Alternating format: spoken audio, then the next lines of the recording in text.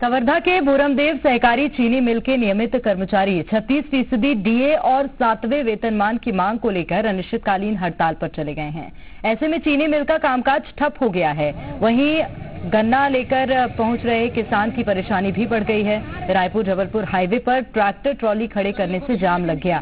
जाम लगने से वाहनों की लंबी लंबी लाइन लग गई। करीब चार घंटे तक जाम की स्थिति बनी रही। पुलिस प्रशासन और मिल प्रबंधन ने ठेका श्रमिक से मिल कर काम का शुरू कराया मिल का। गन्ना तुलाई शुरू होने के बाद किसानों ने जाम हटाया। फ़िलहाल नियमित कर्मचारी अपनी मांगों को लेकर हड़ताल पर चले गए हैं।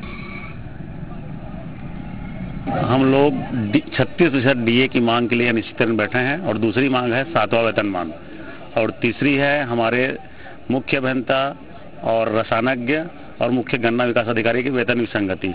और चौथी मांग है पाँच संविदा कर्मचारी उसके नियमितीकरण के लिए। ये चार मांग है।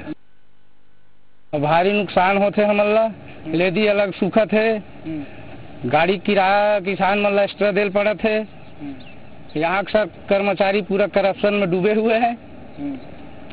तो हाँ मतलब किसान मतलब राहत ही मिलना चाहिए हमारे गाड़ी खाली होना चाहिए 24 घंटा 12 घंटा में।